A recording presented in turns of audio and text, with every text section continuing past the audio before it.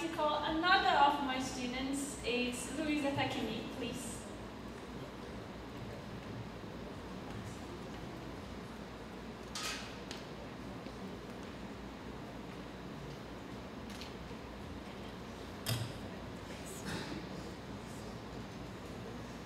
Good morning, guys. Uh, I am gonna talk about healthy habits. About me. My name is Luiza. I am 18 years old. I have been studying English for three years, and I am love learning English. Okay, so here we go. I'm gonna talk about my personal experience with healthy habits. Um, I'm trying to go to the gym, to the gym, and uh, I'm studying very hard because um, I'm finished my high school and finish my course. Okay, um, I'm gonna talk about some healthy habits.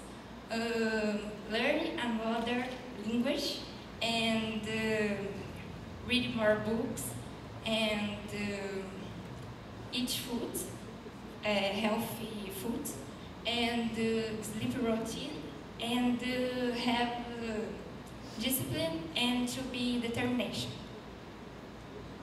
Okay, um, now I'm gonna talk about fixed mindset. Uh, is the message and you put in your mindset, you're put in your mind. Um, I'm gonna talk about so examples.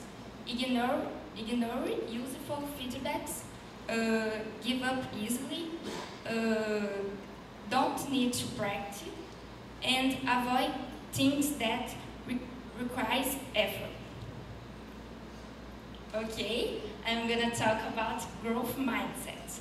Um, so example, uh, playing the routine, uh, wants to be challenged, have many hobbies, uh, seek effort as a way to excellence, and uh, try something new, try, try the,